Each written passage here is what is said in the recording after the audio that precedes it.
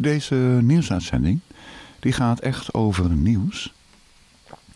En ik heb hier een artikel en het staat op Zero Hedge. Dat is een website met het uh, credo. On a long enough timeline, the survival rate for everyone drops to zero. Maar voordat we dat gaan voorlezen, ga ik eerst even een stukje laten horen van Brett Norman. En Brett Norman, dat is een timmerman uit Amerika. En die heeft ontzettend veel video's gepubliceerd. Dus uh, ik kan de link erin zetten, maar ja, hier kan je het zien staan. Hè? Brett met één T van Theodor en dan Norman. Dus die kan je zo opzoeken. Ja? Brett Norman. En het gaat over een, dit, deze dan, over de relatie tussen het nationaal-socialistische regime van Duitsland en de Romeinse katholieken. Luister maar even naar Brett. And uh, this is a really interesting book, and I need to review the whole thing again anyway. Because uh, there's a lot of facts in this book, and I hope that uh, we have a lot of new listeners to Yerk's reading of this book and the uh, discussion that he does uh, involved with with all of the facts surrounding this book. And you know, I'm looking at this, and um, you know, we're we're discussing uh, some very uh, disturbing political facts, and I think the the the truth of it is is that uh, politics is just a um, a charade. It it's a it's a, a way of hiding um, truth from uh, people uh, that they're not really willing to face. That you know that we have these uh, religious tensions, and uh, people would rather think about politics because it's it's uh, somehow um, more palatable or something. But um, yeah, politics and religion. You know, there's a lot of people that say, "Oh yeah, well." you don't want to discuss those. well, it's kind of true, especially with strangers, you know, unless you want to preach to them, you know, then then it might be worth your while, but who knows. But anyway, let's get right into the reading here.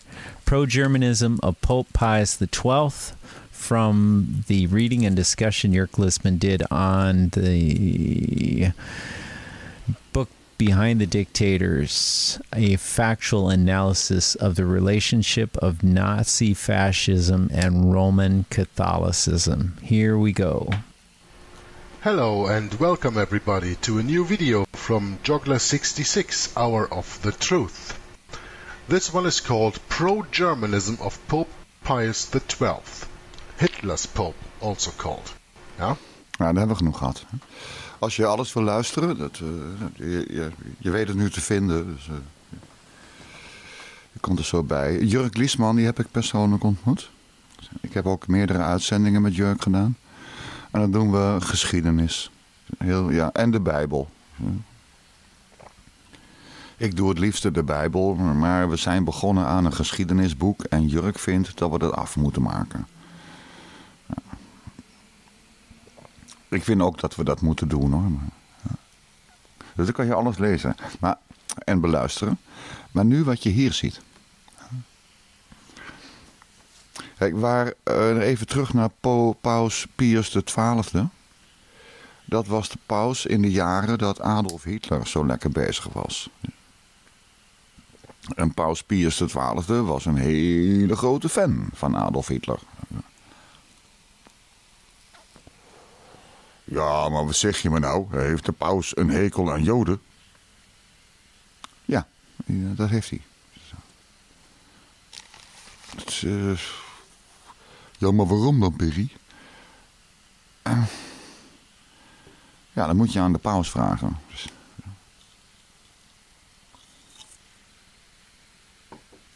Dus dat Hitler uh, heel vervelend omging met die Joden, ja, dat vond de paus niet erg.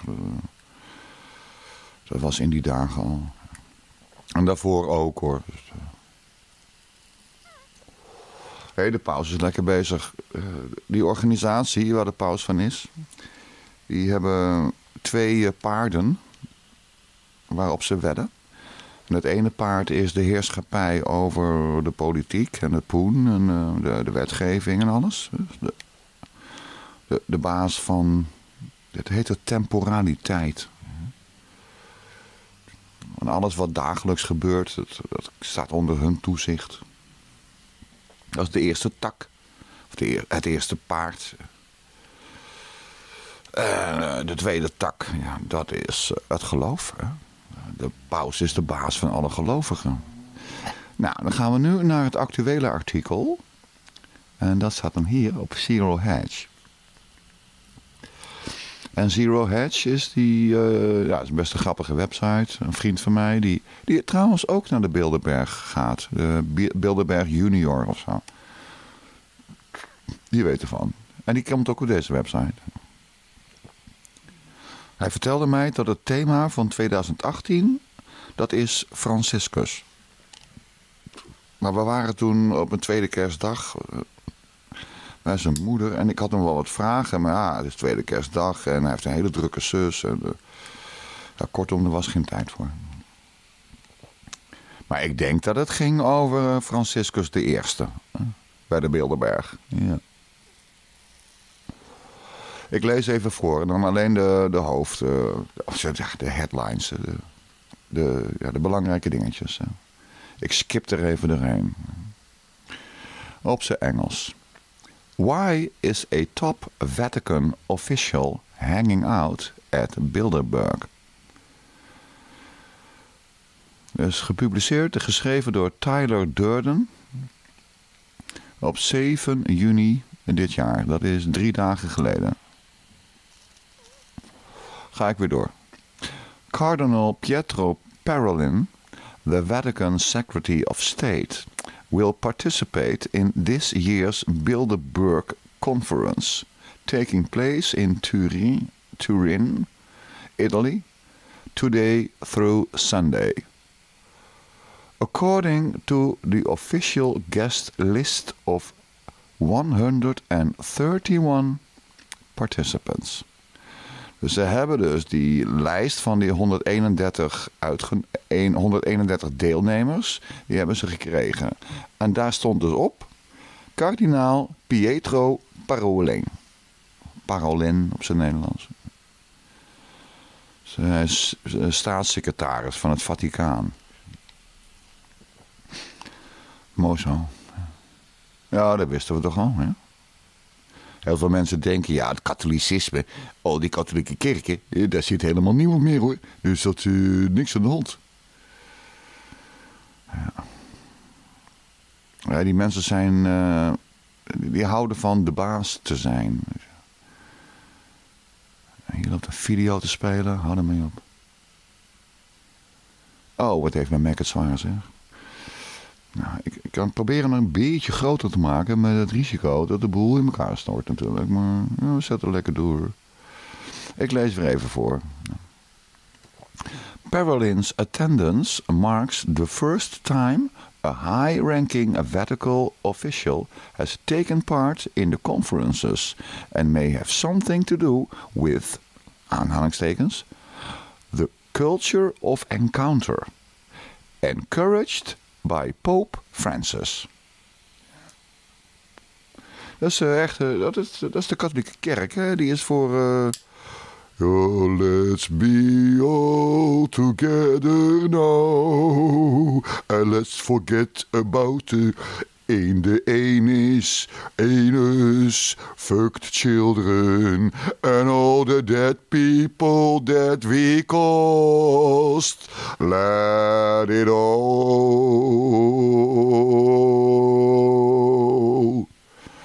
be forgotten. Is de paus.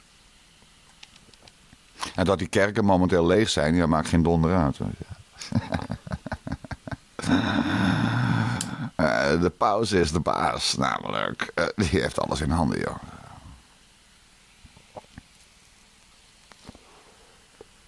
Gewoon kleine kinderen neuken. Dat is helemaal geen probleem voor de paus. Echt niet. Het is een zonde. Meer niet.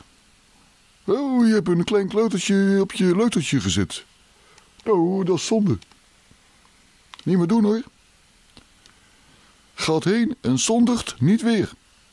Dat in de Nederlandse wet staat dat het helemaal niet mag. Ja, met die pagina van het Nederlandse wetboek. Dat gebruikt de paus om zijn billetjes mee af te vegen. En natuurlijk.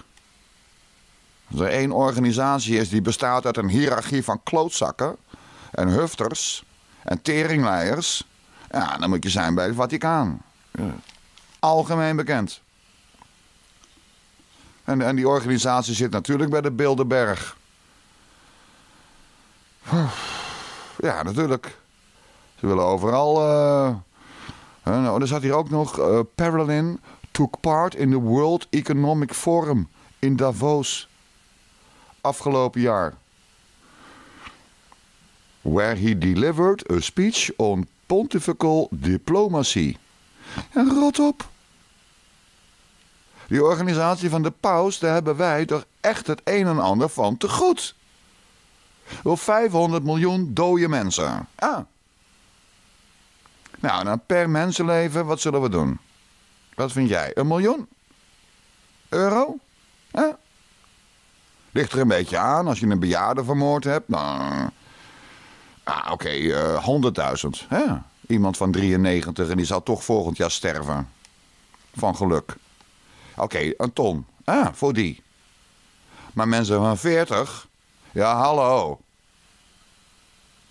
Mensen van 10, ja, eh, gemiddeld een miljoen. Ja, nou 500 miljoen keer een miljoen. C'est combien c'est ça? Nou, Perry, nou moet je geen Spaans gaan spreken hoor, want dat versta ik niet. Nee, dat was geen Spaans, dat was Frans. Hoeveel is dat? 500 miljoen keer 1 miljoen. Ah. En dan nu opkomen met die poen. Nou, ik zal het je even uitleggen. Duizend keer een miljoen, dat heet een miljard. En een miljoen keer een miljoen, dat heet een biljoen. Een biljoen. Toch? Ja.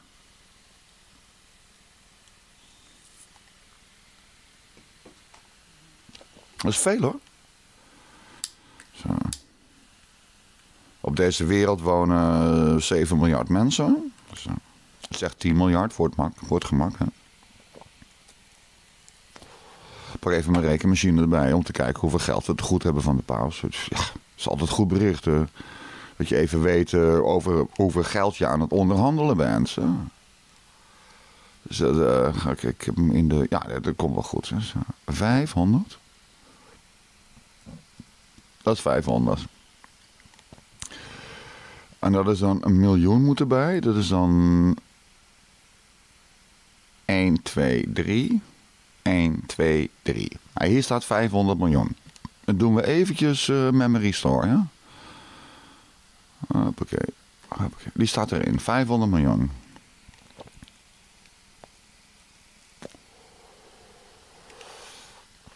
Dat moet keer 100 miljoen.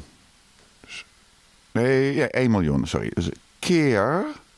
En dan 1. En dan 1, 2, 3. 1, 2, 3. Hoeveel is dat? Nou, dat is zoveel. Nou zo.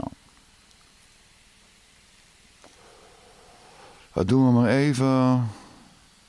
Memory clear. En dan opslaan in de memory. Zo. Uh, dit is het geldbedrag wat wij ongeveer uh, te goed hebben van de paus. En wie zijn wij? Nou, dat zijn de mensen. En hoeveel mensen heb je dan? Nou, dan, uh, er zijn 7 miljard. Dus als we dit delen door 7 miljard, dan doen we, dan doen we 7 miljard. Dus gedeeld door 7 en dan 1, 2, 3. Dat is 7000. 1, 2, 3. Dat is 7 miljoen. 1, 2, 3. Dat is 7 miljard. Nou, wat wordt deze rekensom? Dat betekent per wereldburger afgerond 70.000 euro per persoon. Ja, maar het geld dat kregen we niet.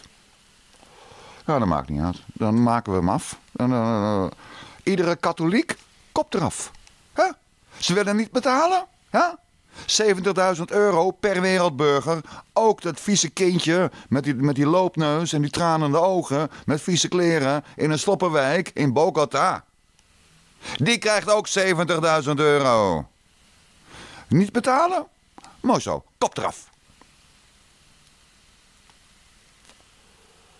Je mag niet zomaar mensen vermoorden. En de katholieke kerk, die lui, die absolute volidioten... die denken dat ze daarmee wegkomen. Ja, moeten ze vooral proberen.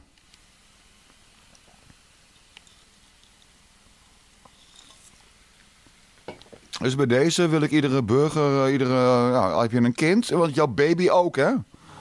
Dus jij bent de moeder. Voor mij heb je een alleenstaande moeder, omdat je een, nou ja, een of andere vent had, dan had je niks aan. Die is de deur uitgewandeld. Jij zit alleen met je kind thuis. Dan krijg jij twee keer 70.000 euro. Nee, maar dat is even lekker leuk. Dat is 140.000 euro, schatje poepje.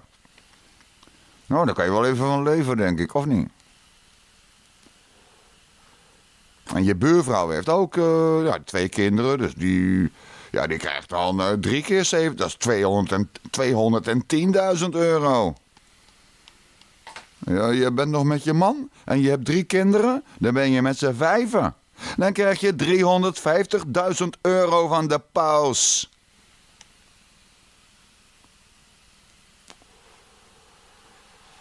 Ja, het, gaat, het draait allemaal om geld, hè. Ik weet het. De paus weet dat ook. Smeerlappen. En dat de paus al die mensen heeft laten vermoorden. Ja, dat... dat, dat, dat iedereen die zegt... Ja, maar ik vind het wel... Ik ben uh, multicultureel. Dus ik vind uh, mensenmoordenaars... Die horen er ook bij. Uh, mensenmoordenaars? Zei je dat nou? Ja, daar had jij het toch over? Nee, jij begon erover hoor. Dat de paus heeft ongeveer 500 miljoen mensen om laten liggen. Ja, die organisatie. De pauzen door de jaren heen. Door de eeuwen heen. Nee, door de millennia heen. Homo. Dat moorden van de paus, dat is al heel lang bezig hoor. En 500 miljoen is misschien aan de zuinige kant. We kunnen ook zeggen een ton per persoon voor alle zekerheid dat we genoeg geld terugkrijgen. Dus ben jij een moeder, een alleenstaande moeder... en een of andere stomme vent en die wat hij gedaan heeft, maar die is weg. Je zit alleen met je kind, dan heb je twee ton. Je man woont nog bij je en je hebt drie kinderen. Ja, dan krijg je 500.000 euro. Nee, maar dat is even lekker beuren. Ja, maar Perry, hoe krijg ik dat geld dan? Nou, op je bankrekening natuurlijk. Ja, maar kan ik dan ook wel pinnen met dat geld? Ja, natuurlijk. Er zijn gewoon nummertjes op je, op je afschriftje. Dan kan jij naar de supermarkt hoor. Met een saldo van drie ton, dan kan jij uh, twee pakken melk kopen. Dacht ik eventjes. Ja, maar kan ik dan echt overal pinnen? Met dat geld? Ja, natuurlijk. Ah, het punt is, die paus gaat niet betalen. Dat is iets anders. Ja, maar wat moeten wij dan doen? Ah, ah.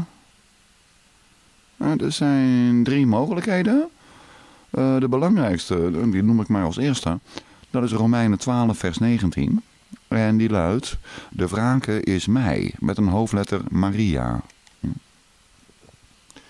Hé hey Perry, maar jij bent toch niet van Maria? Nee, ik bedoel een M. Met een hoofdletter motherfucker. Dat is ook met een M. Maar in de wraken is mij, daarmee men wat bedoeld, die hoofdletter uh, motherfucker, dat is God. We moeten er helemaal niks aan doen. We moeten toekijken hoe God wraak gaat nemen. En dat is de beste oplossing. Daarvoor, nou, dat is een heel gedoe. Ja, want het staat in de Bijbel en uh, ja, je kan wel één vers van de Bijbel lezen, maar heb je dan wel de boodschap begrepen? Nee, helemaal niet. Dat kan niet. Je kan niet zeggen, ik heb Romeinen 12 vers 19 begrepen en die hele Bijbel die kan voor mij in het aardvuur. Nee, natuurlijk niet.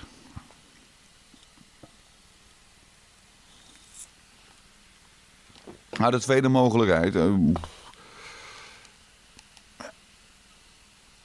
ja, dat, is de, de meest gangbare. En dan doe je je hoofd in het zand steken. Wat die struisvogels helemaal niet doen, hoor.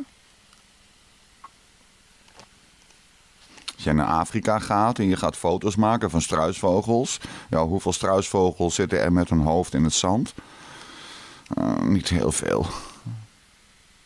Maar je kan je hoofd in het zand steken en zeggen van ja, maar ik heb een uitkering en uh, nou, dan krijg ik ook een beetje geld. Uh, daar ben ik ook wel blij mee. En dat geld is ook van de paus. en ik doe voor de rest de hele dag niks. ja, ik krijg zo langzamerhand krijg ik toch een beetje terug van al die vermoorde mensen. En ik denk nou, dat ik uiteindelijk wel een ton ga krijgen. Mooi zo.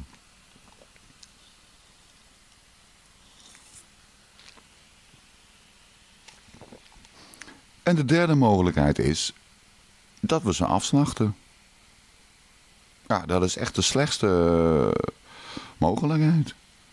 Dat lukt je helemaal niet. De paus die heeft een leger, jongen. De paus hoeft maar op zijn fluitje te blazen en dan ben je omringd met twintig, uh, nou zeg het maar. Soldaten naar keuze. Wil je eh, de gewone politie, de nationale politie, de Europese politie, eh, soldaten van de NATO? Eh, kies het maar. Oh, ik wil het liefst gepakt worden door de Zwitserse garde, want dat heeft historische connotatie. Ja, uh, weet je wat het woord connotatie betekent? Nee, Perry, niet van die ingewikkelde vragen stellen. Ja, precies. Dus je komt niet bij die paus, dat is wel duidelijk. Maar ik vind het wel verleidelijk. De gedachte. Want behalve het feit dat die paus, die gaat dat geld niet ophoesten. Dat doet hij niet. Als, als hij dat zou doen, ja, dan krijgen we hier in Nederland, man. Eh, iedereen heeft zeg maar afgerond een ton. Dan hebben we 20 miljoen Nederlanders. Hmm, dat is dan hebben we dus 20 miljard. En dan keer even weer uitrekenen. Dus 20 en dan 1, 2, 3, 4, 5, 6. Dat is het aantal Nederlanders. Voor het gemak. En dan keer 1 en dan 1, 2, 1, 2, 3 is. Nou, dat lijkt me een groot bedrag. Dit is de hoeveelheid geld die binnenkomt stromen. Ik ga even tellen hoor. Dus 1, 2, 3, dat is duizend.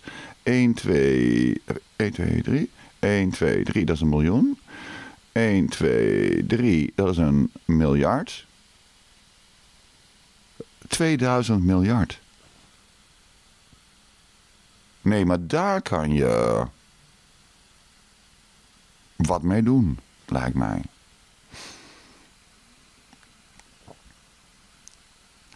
Daar kan je toch uh, een kinderdagverblijfvoorziening van in gaan richten. De kinderen een beetje onderwijs geven in plaats van die onzin die ze op school krijgen. Ja. Nou, Perry, ik vond dit uh, echt uh, veel te humoristisch en helemaal niet wat jij zegt nieuws. Want je hebt het over het feit dat we dan heel veel geld te goed hebben van een moorddadige instantie. En uh, ik ben best bang van dat idee dat jij zegt dat er een instantie is die 500 miljoen mensen, inclusief kinderen en oude vandaag, heeft uitgehongerd, verkracht, gemarteld, op de brandstapel gezet en gedood. Ik, ik vind het niet zo'n leuk bericht, Peggy. Ik, ik heb liever dat je het hebt uh, over uh, dat hele mooie boek wat ik ken. En dat heet Nijntje gaat naar het bos. Dat vind ik ook heel eng hoor. Want er komt Nijntje, die, dat ken je toch wel, dat de konijn. En een konijntje die komt dus in een bos en met allemaal hele hoge bomen. Dus, wil je alsjeblieft de volgende keer het hebben over Nijntje naar het bos? Nee, maar natuurlijk, lieve kind. Natuurlijk. Ga rustig slapen. Hè? En op zijn Hamburg zeg ik... En waarom op zijn hamburgers? Nou, Hamburg is door de paus gevuurbombardeerd. Een aparte manier van bombarderen. De paus heeft gezegd dat Hamburg, dat was uh, Sodom. En hij heeft gebeld met Engeland en er zat bomber Harry. Kan je zo opzoeken op internet. Een bomber Harry was verantwoordelijk om namens de paus bommen te gooien op burgers. En die andere vent, wie was dat dan? En, en die moest de bommen gooien op industriële, CQ militaire installaties. Ja, dat is gevaarlijker. Daar staat uh, luchtafweergeschut omheen. En bomber Harry, die was heel favoriet bij zijn werknemers. Want zij mochten gewoon naar Hamburg gaan. Ja, dacht je dat er bij Hamburg luchtafweergeschut stond? Om een aantal oude vrouwen en kleine kinderen te verdedigen. Want al die uh, strijdbare mannen, ja, die zaten in Stalingrad zich op hun kop te krabben. Wat ze daar nou weer moesten doen van de paus. En de paus maar lachen. Ja, ha, ha, ha, ha, ha. Hey, daarom zeg ik op zijn hamburgers. En dat het niet ten nadele van Dresden, of Dresden. Helemaal niet. Want dat is ook gevuurbombardeerd. Maar niemand weet van Hamburg. En daarom zeg ik op zijn hamburgers.